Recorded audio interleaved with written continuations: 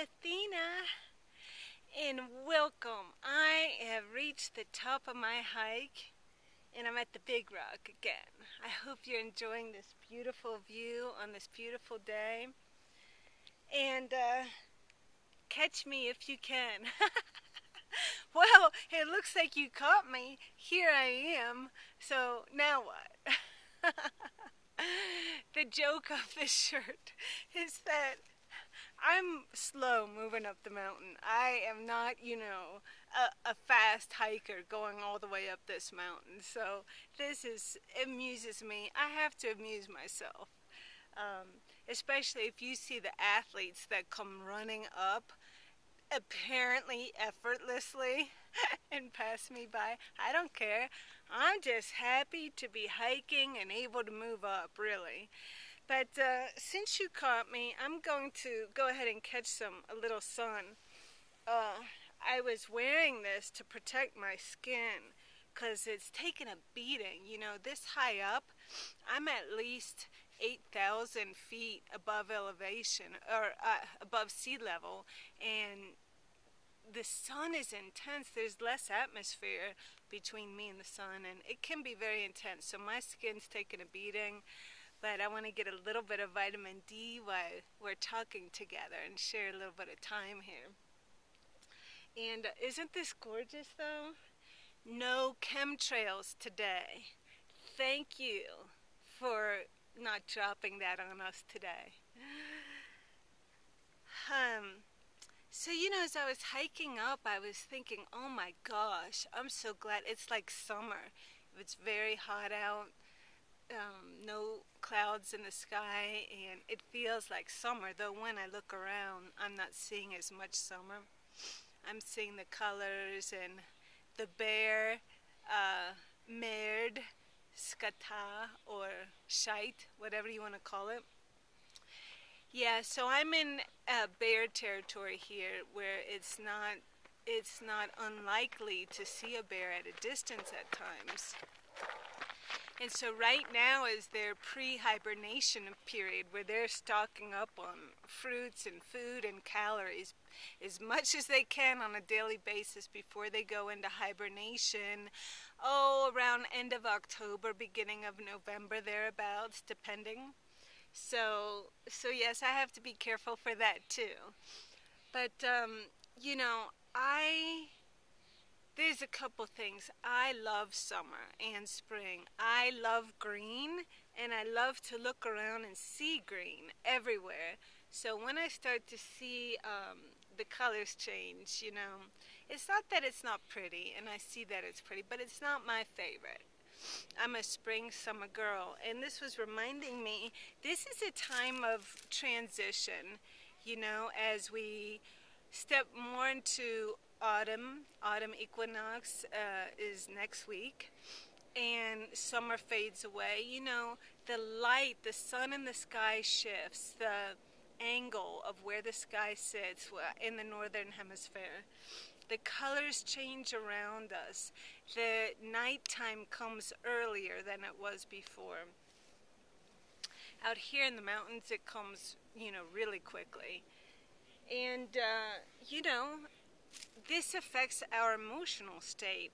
There's every season brings a change and a transition uh, for all of us. The colors affect us, the light, uh, the color of the light, the amount of light that occurs in the daytime, and uh, the temperature. So many things in our external environment affect us in in various ways. Also, you know, in life we have different seasons and many transition. One season I was thinking about is the season of going within and building a shell of protection uh, while I've been healing from trauma and uh, let's face it, a serious, serious illness is is trauma. It's trauma to the physical body, the mental, spiritual, emotional, uh, etheric. It, it's trauma in many ways. And then, you know, we shift out of that some and we can emerge healthier and feeling restless and wanting to get out more. And that's a new season. And a part of ourself dies in order for our rebirth of a newer self.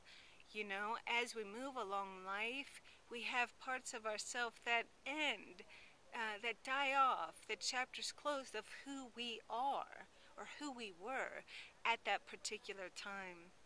And um, there can be a sense of exhilaration, exhilaration, excitement, sadness, grief, confusion, and um, unsettledness when a part of us, when the season changes, when we emerge from this self into a newer self. And that's okay. I want to ask you if you're going through this right now. Not necessarily because of the seasonal change, but that certainly can prompt an internal change within us. Or we notice that there are stirrings or that we're closing ourselves in more because we need, you know, a cave, a layer of self protection from the world so we can heal some. So, where are you at right now? I am really curious what's going on with you and if you agree that you go through different changes well with the seasons but that you've been noticing at times when your old self is dying off. Now when i say your old self i mean a part of yourself right? And that a new one is emerging. And it's like you know any change causes both excitement and fear and anxiety and confusion. It can be a positive change, but change in and of itself for many people causes a lot of discomfort and anxiety, even if it's change for the better. So I wanted to share that today. Um, and I hope you are enjoying this your season wherever you are in the world. And I am enjoying this weather and the green again I love being surrounded by green. Green is one of my top colors that I love to see around me and uh, I seek places where it's warm and green. That's my favorite. But I can see beauty in every season. I just prefer warm and green. What about you? Let me know what you prefer. So that's about it today. I don't want to talk too long because I'm not sure if you like the longer videos. Let me know if you do. I can talk a long, long time. but I want to make this uh, manageable for you as well. And because I respect your time and I appreciate the time you take to visit and catch up. And I really enjoy you being on my journey.